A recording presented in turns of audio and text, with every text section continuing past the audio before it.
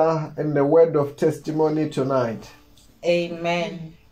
Our testimony reads as follows Blessed with a job, there is a man who has testified about the goodness of God in his life. He had never been formally employed in his entire life. He used to hustle in order to support his family. He then trained as a security officer, but the certificate took longer to be released. Pastor Robert prayed for the certificate to be released, and it finally got released. He managed to get employment afterwards, and he has just started with a new job. Glory to God in Jesus' name. Amen. Amen. Our announcements are as follows. Every morning at 6 a.m. from Monday to Friday, we have our morning prayer, which is at 7 a.m. on Saturdays and Sundays. Our midday service starts at 5 to 12, and then we have our evening service, which starts at half past 6 every night. Our midnight prayer starts at 5 to 12 every night, and we also have our weekly prayer and fasting, which is on Wednesdays, Thursdays, and Fridays. The details of the fasting are shared on our different WhatsApp groups. Amen. Amen. Tonight we will get the word of God from the book of Isaiah, chapter 60, from verse 4, NIV. It reads as follows Lift up your eyes and look about you. All assemble and come to you. Your sons come from afar, and your daughters are carried on the hip. Then you will look and be radiant. Your heart will throb and swell with joy. The wealth on the scene will be brought to you. To you, the riches of the nations will come. Herds of camels will cover your land, young camels of Midian and Ephah, and all from Sheba will come bearing gold and incense and proclaiming the praise of the Lord. All Kedar's flocks will be gathered to you. The rams of Nebaioth will serve you. They will be accepted as offerings on my altar, and I will adorn my glorious temple. Who are these that fly along the clouds like doves to their nests? Surely the islands look to me in the lead are the ships of Tarshish, bringing your children from afar with their silver and gold to the honor of the Lord your God, the Holy One of Israel. For he has endowed you with splendor. Foreigners will rebuild your walls, and their kings will serve you. Though in anger I strike you, in favor I will show you compassion. Amen. Amen. Amen.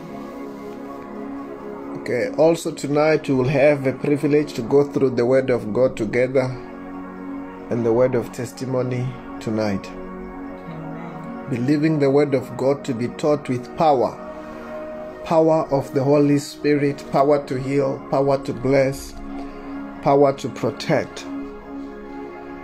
Um, I just have one or one testimony or two testimony because sometimes when god do something in your life he may be doing it for you sometimes Amen. but sometimes god may be doing whatever he's doing for somebody Amen. sometimes you think god is doing something for you but sometimes it's actually somebody's testimony Amen. that god is doing to encourage somebody Amen. in the morning i had a thought I, I it only began with the thought "Ah, maybe i can get another position it was just a thought it was a thought okay maybe ah. i must get another position. I must get an at maybe. But you know it has been about in this i know i've been here last year but this year this is i think tomorrow is gonna be exactly about five months when i'm this side. Then i saw somebody saying that ah. they are looking for for an engineer and maybe just to start a conversation i said ah okay i'm looking for you i'm interested in the position Then the person is like, Can we interview you today? Ah. But because I was not really serious, I'm saying, No, I'm busy with the interviews for the Engineering Council of South Africa. I'm a panelist. I'm in the middle of interviews. I'm interviewing people. If only if you want to interview me today, you can try to interview me after one o'clock. Ah, I thought that was it. Then in the afternoon, I see the HR personnel from that company saying that, ah, can we interview tomorrow? I said, okay, you can do so. You can interview to me tomorrow. Another one was like, ah, are you interested? Just, are you interested? They are looking for an engineering manager. Are you interested again? I said, ah, okay, you can try. You can, in- I'm interested. But am I really interested? In reality, not really. I'm not really interested. It was just a thought. But anyway, we are to choose. Amen. In our our family, we are to choose. That's who we are. We are to choose. We are not uh, job. We are not after jobs. Jobs are after us. Amen. And some of those things ma- needs to manifest so that um, we can encourage one another with something tangible. Amen. Hallelujah. Amen. That is my testimony. Amen. Amen. Okay, Amen. let us go to the book of Isaiah chapter 60, verse number 4. I usually say that sometimes, you know, just sometimes God does things so that somebody's faith may be encouraged. Amen. When you hear that somebody's testifying next door, that means you are next in line. Amen. I don't know who needs to hear this, but you are next in line in Jesus' name. Amen. Amen. Let us go to the book of Isaiah, chapter 60, verse number 4. The Bible says that lift up your eyes and look about you, all assemble. Come and come to you. Your sons and d- uh, your sons come from afar, your daughters are carried on the hip. The Bible says that. Remember, when you start very well in verse number one, the Bible says that arise and shine. Your light have come. The glory of the Lord rises upon you. That means, first of all, the Bible saying that your time for God to make you shine have arrived. Amen. And the Bible said that your time for God to make you shine has arrived. And the Bible said that the reason why God said that your time has arrived, the Bible said that this time is because the glory of the Lord is rising upon us. You have sought the Lord, you have been after God. As the Bible said that in the book of Jeremiah, chapter 29, verse number 13, the Bible said that you will find me when you seek me with all of your heart. Somebody may be saying, "Ah, What is the use of finding God? What is the use to live in the presence of God? What is the use to live in the power of God? What is the use to live in the glory of the Lord? When the, you are living in His glory, when you're living in His power, once you have sought and you have found the Lord, after that, the use is you will arise. Amen. After that, you will shine. Amen. You will prosper. Amen. You will be successful. Amen. You will be great. Amen. You will be unstoppable. Amen. Amen. Seeking the Lord is just the first part. Amen. Living in His presence is just the first part. Amen. But after that, the Bible says that you will arise. Amen. That's where the action begins. Amen. Let me tell you this. When you talk about seeking God, going after God's heart, that is the first person where action begins with you. Amen. You do an effort to find the glory of God. Amen. You do an effort to find the power of God. Amen. But after when you have found God, it is time for God action. Amen. It's time for God to act. Amen. Hallelujah. Amen. I want to tell you this. You know, you can only see God who is available. You can't see God who's not there. I don't know whether you are hearing what I'm saying. Amen. People want to see God in their life. When they want to see God, you wonder what is the effort are they to, are they doing to make sure that the glory of God is present? Amen. What is the effort are they doing? Are they what is the price are they paying? Amen. People forget that they can't see God who is not there. Amen. First of all, in order to see the glory of God, in order to see the power of God, first of all, He must be there. Amen. Then, once He is there, you will be able to experience His power. Amen. You will be able to experience His presence. You will be experience, able to experience His blessing. When God is what? When God is there, Amen. then people want to to rob it. And when God is not there, after that they just begin to experience God's blessings. Amen. And they just want to experience what He can do. No. You know, first of all, you go after God's heart. Amen. As the Bible says that in the book of Matthew, chapter 6, verse number 33 Seek first his kingdom and his righteousness, and all these other things shall be added unto you. Amen. All these things shall be given to you as well. But that means then what you do first of all, you go after God's heart.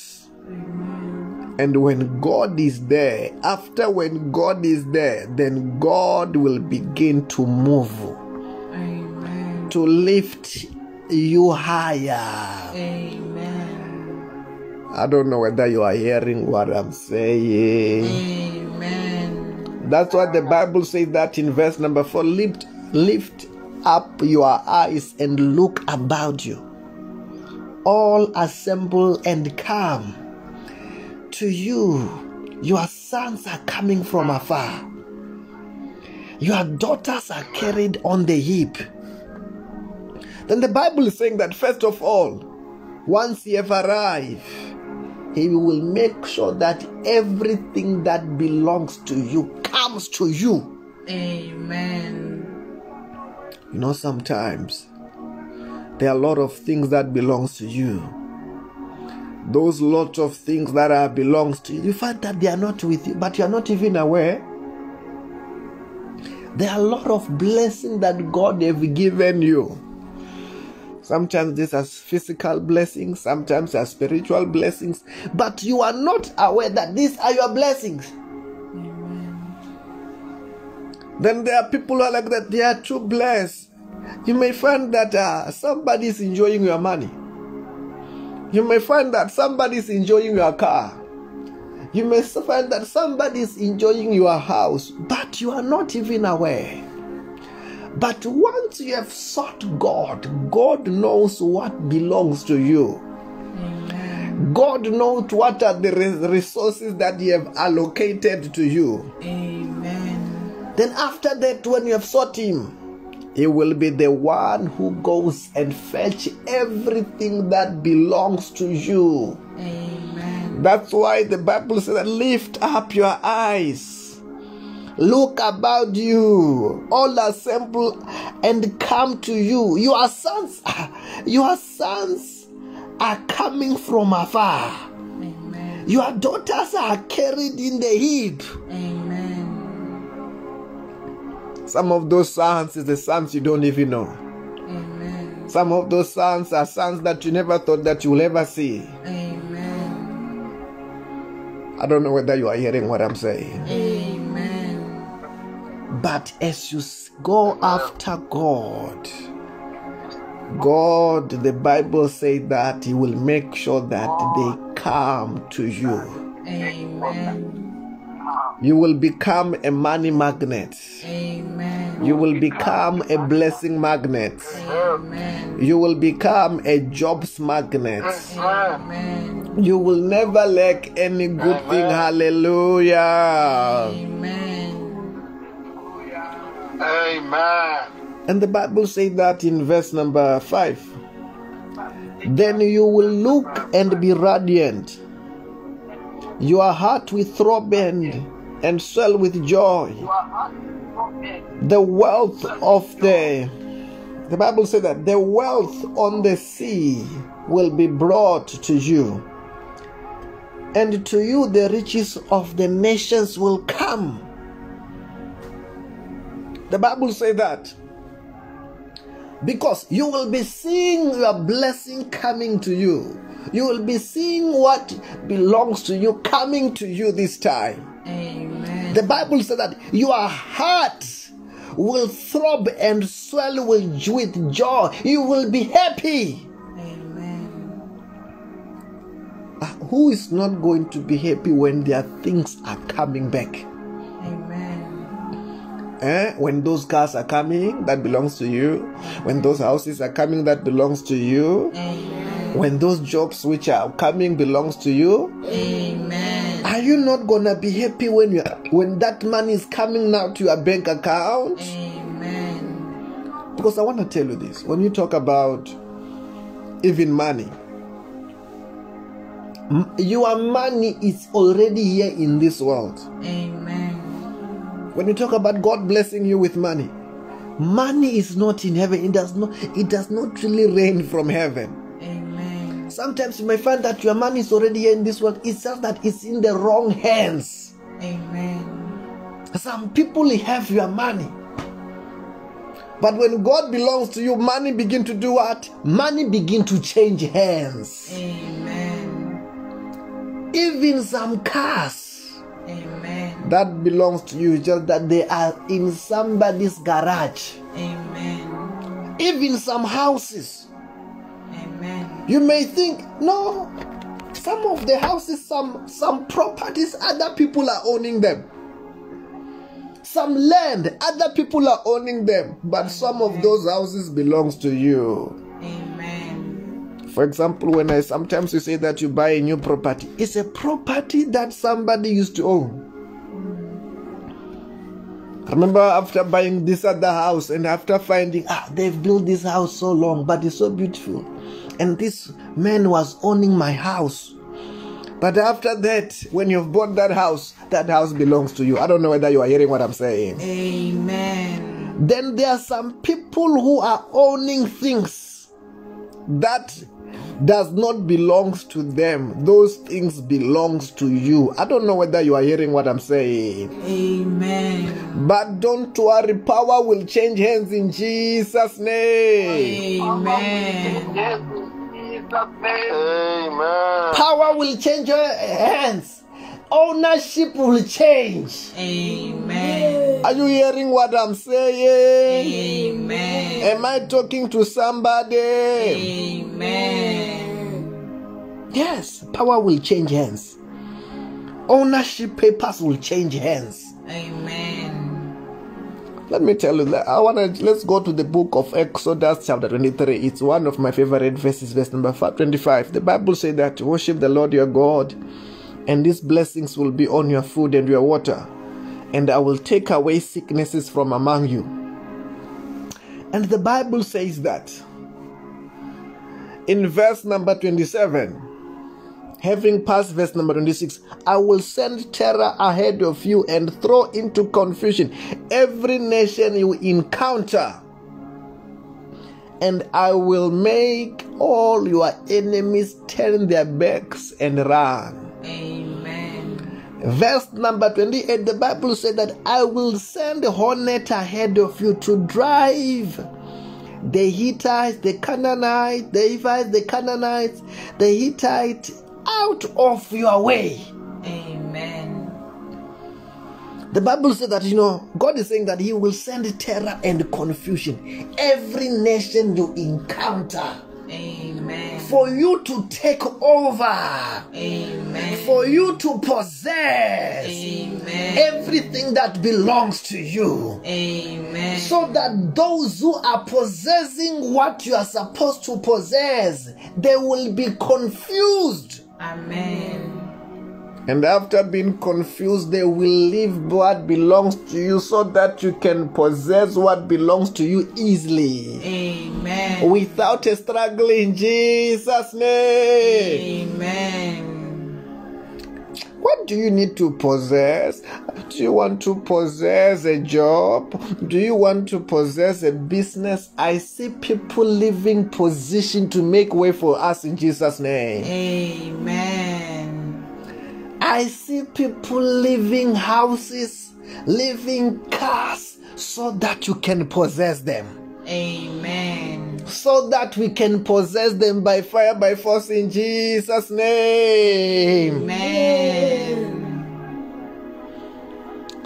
I remember this other day, we're busy viewing houses. As we are viewing houses, this uh, real estate agent said that, ah, there are a lot of houses now that are vacant. They said that there are a lot of these houses that are vacant. That the reason now is because of COVID. There are a lot of houses that are vacant. That's what the, the real estate agent says. But sometimes some people vacate so that you can what? You can be able to possess. Amen. I don't know whether you are hearing what I'm saying. Amen. Sometimes somebody have to vacate so that you can what? You can possess. Amen. I, I don't know whether you are hearing what I'm saying. Amen. Okay, let us go down. The Bible says that I will send the hornet ahead of you to drive out the Hivites, the Canaanite, and the, the Hittites out of your way. Verse number 29, the Bible says that, but I will not drive them out in a single year because the land will become desolate and the wild animals be nu- too nu- numerous for you. Verse number 30. Little by little I will drive them out because you out before you until you increase enough to take possession of the land. Amen. The Bible says that, you know, God is saying that what he's going to do. He is going to hey, to drive out those who were possessing what belongs to you. And the Bible says, as he is driving them out, he said he's not gonna drive them out at once. Hmm. He said that he will drive them little by little. Because the land might become so big for you. So I'm waiting and I'm God is saying, I'm developing your capacity Amen. So that you can you can have a, capacity to manage Amen. big lands, Amen. big properties, Amen. large amount of money. Amen. So that hey, what you have to possess might not be too big for you. Amen. Because sometimes, you know, you have not developed enough. Because sometimes you have to prove unto God that ah, I have developed enough. I have grown enough in order that I can possess the millions that you're about to give to me. Amen. Sometimes God want to give you a lot of money. As He's about to give you a lot of money. But you realize that you can't manage the little that He's giving you. How do you prove that you can manage what God is giving you? When you are able to even tithe based on what God is giving you. Hey, your ability to act in accordance to scriptures as God is blessing you is a way to prove unto God, I will be able to manage what you are giving to me. But if you can't act in accordance with the scriptures, when God is giving, blessing you, it is also a proof that you are showing God that I can't manage that you are giving me. Amen. You are not matured enough Amen. to take care what God is giving you. Amen. When somebody begin to have a lot of excuses why they can't do what God have to do, what God want them to do, they can't be in the presence of God. You ask why? Because of a job that you have given me. Uh-uh. God want to expand you. God want to bless you. And you must be able to prove how faithful you can be. Amen. And not come out with excuses why you can't tithe. Amen. Why you can't be in the presence of God. Amen. Being able to show God, Amen. oh God, you can trust me with money. Amen. You can trust me with business. Amen. Then sometimes because when you are faithful with little, you are showing God that you can handle much. Amen. But for God to be able to trust you with much, it is after when you have proved to God and you have shown God that you can trust me with little. Amen. Hallelujah. Amen. And the more you are faithful with little, God can do what? Can give you much. Hallelujah. Amen. Say fire, yeah, yeah, yeah, yeah, yeah. Fire, yeah, yeah, yeah, yeah, yeah. I love the word of God. I love the word of God. I'm enjoying the word of God. I'm enjoying the word of God. The Bible says that in the book of Galatians, chapter 4, verse number 1. The Bible says, What I'm saying is that as long as a hair is underage, he is not different from a slave, although he owns the whole estate. The heir is subjected to a guardian and trustees until the time set by his father. So, then the Bible saying that you see. He said that what I'm saying is that as long as the hair, who is the hair? When you talk about the hair, it's, it's the same thing when the, when the father have got a son whom he want to to you want him to inherit what he owns. When he want to this son to inherit what he own but he realized the son is still young. Even though he bought this beautiful car and he think that this car will be this this young man will inherit when he grow up but he realized this young man is still young he can't give him a car he's still a baby he will crash the car but he said that as long as he's young, he's not different. The Bible says he's not different. He's not different from a slave. Because a slave is not a son, he can't have that car.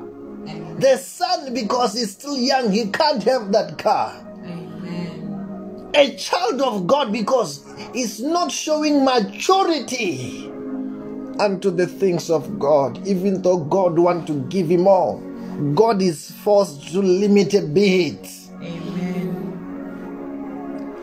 And this person is praying, crying, Oh God, give me a bigger car, give me a bigger house, give me more money. And God is looking and saying, Ah, ah. God is saying that I've given him this little so that I can see how faithful can you be with little. Amen. And then you can God can be able to expand your horizon. Amen. As long as you are faithful with little, you can be trusted with much. It's a principle of the kingdom. Amen. Jesus Christ gives Jesus gives a parable of talent. What was the parable of talent all about? The one is given five, the other one is given two, the other one is given one. But when they come back, what is he trying to see? When he come back, he's trying to see is this one able to profit what he has been given? Is this one able to be faithful based on what he has been given? Amen. Or he cannot be faithful with little. Amen. Those who were faithful with little, their authority was expanded. Amen. Then so God, God, you want to see you, you, you know, God want to see us proving that we can be trusted with little so that he can give us much. God want to give you much. He want to give you more property. He want to give you more money. He want to give you more cars. He want to give you in every sphere of your life. That's why, as a child of God, you must know it is important to be faithful in the little that God have given you. Because what God have given you is just a test. Amen. It's just a test. It's just trusting. You want to see how can you be can you be trusted? Amen. How matured are you? Amen. Then once you are matured, God will begin to open more doors for you. Amen. And as a child of God, long for maturity. Amen. Long for maturity. Want to grow up Amen. into the things of God. Amen. Want to grow up Amen. to be able to practice the principles of the word, the principles of the kingdom. And when God have seen that you can be faithful, you can be trusted, He will expand your horizon. Amen. Otherwise, a little child, even though he can cry for the keys of his father, if that father has got a right mind, he will never give that child a car. He will buy him a toy. Play with toy until you have got some sense in your in your mind. Play, you know, you know. That's why even the laws of the country say that you can begin to drive when you're 18 years old because they know that an 18 year old have, been, have have some a bit of some sense Amen. we can ex, we can expect a bit of responsibility. Amen. but anything longer than that no. Also in the kingdom is like that. There are certain lessons that you need. Some people who have shown maturity. Is that, that in the spirit you don't show maturity because how old you are. You show by your maturity in how much can you practice the word. Amen. How much can you practice the word Amen. how much can you obey Amen. how much Amen. how much obedient can you be the more you show that the more show the more you prove and show that you are matured Amen. there's certain things that a matured christian does Amen. and there are certain things that the baby christians do Amen. No matter how old they are in the physical Amen. somebody can be 80 years in the spirit and still be a baby christian Amen. then some people are just a baby christian Amen. they are not matured enough Amen. then how much matured are you Oh, Barakria Frosakia Talabahaki. We are about to pray, asking God, help me to be matured. Help me to grow up. I want to grow up so that I can be trusted with the things that the Father want to give. Because there are things that the Father want to give you. There are blessings that the Father want to give you Amen. if we go down in the same in the same book the bible says that wealth on seas will be brought to you Amen. to you riches of nation will come Amen. There are riches that are in nations that the, God want to bring to you even over the sea. Amen. The Bible says that the heads of the camel in your land, young camels of the Midianites, Midian, and Ephah, the bearing of gold, bearing gold, Isen's proclaiming the praise of God. Amen. When the Bible talks about camel, don't be expecting camels today. He's talking about there, there is a Mercedes Benz written your name. Amen. There is a whatever car that you need, written your name. Rolls Royce, written your name. Be- beautiful things written your name out there that are just waiting you to grow up in the things of the kingdom, and God will bring the best of the land towards you. Amen. Remember who is our father, who is our daddy. Our daddy is the creator of heaven and earth. He owns it all. If he owns it all, he can give you the best house. Amen. He can give you the best business. He can give you the best position. He can give you the best cars. He's unlimited creator. Amen. He owns it all. Amen. And all that he wants you to do is to prove how matured are you. You seeing you growing the things of the spirit, seeing you growing the things of the kingdom, and he will make sure that all these good things shall be added to you. Hallelujah. Amen. You know, the Bible even say that all the Kedar flocks, said Kedar flocks, will be gathered to you. The rams of Naboth will serve you. Amen. They will be accepted as offering on my altar because when you are grown up, you are not having these things for yourself. Amen. When you've grown up in the spirit, when they give you those rams, when they give you that offering, is the more the kingdom prosper, is the more the kingdom advance. Because when you are matured enough, you have become a kingdom financer. Amen. You are not, hey, I want you to show, I want you to understand it. You are not just getting rich. You are, you are not just getting rich like the people of the world. Amen. You are getting rich for the kingdom's sake. Amen. God knows that everything He put in your hands, in your hands, it belongs to Him. Amen. He knows that you are the manager of the of the resources of the kingdom.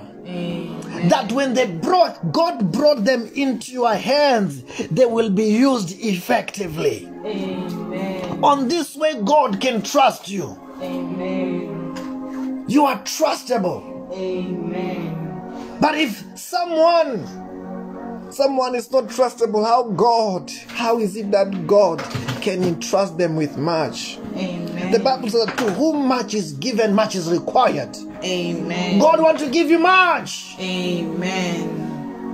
He wants to give you much. Amen. Hallelujah. Amen. He wants to give you much because he can trust you. You are matured enough. Hallelujah. You must be able to prove that you are out of the stage of the world. Amen. You're not like this youth Amen. who receive who receive one or two breakthrough and they lose their mind and they lose their character. Amen. You have proved yourself. You are matured.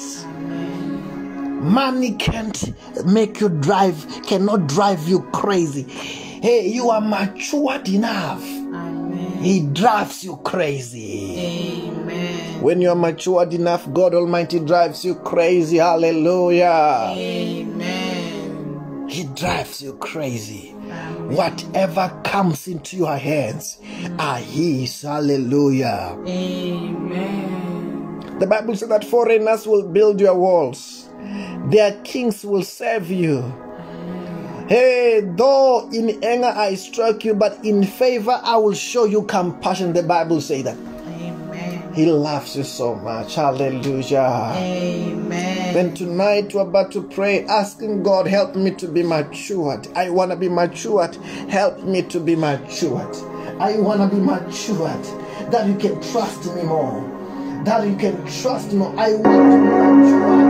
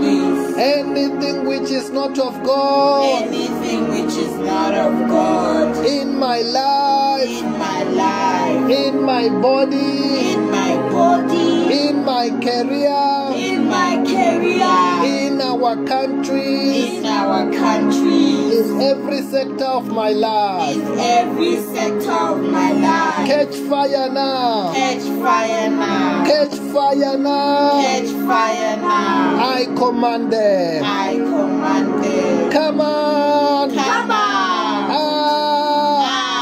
Out. Ah. Out. Ah. Out. Say, I command I command everything to turn around for my good. everything to turn around for my good. Everything Everything turn around turn around for my good. for. Let there be progress. Let there be progress. Progress. Progress. Progress. Progress. Let there be miracle jobs. Let jobs. there be miracle jobs. Miracle jobs. Miracle joy. Miracle jobs. Miracle joy. In the name of Jesus Christ. In the name Jesus Christ, Lord Jesus Christ. you are my Lord. You are my Lord. You are my Savior. You are my Savior. Wash me with your blood. Wash me with your blood. Forgive me my sins. Forgive me my sin. Bless me today. Bless me today. Protect me from today. Protect me from today.